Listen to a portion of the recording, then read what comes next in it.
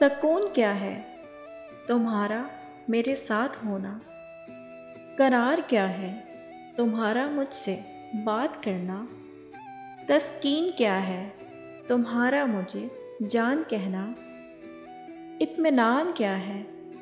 तुम्हारा हमेशा मेरे साथ रहना।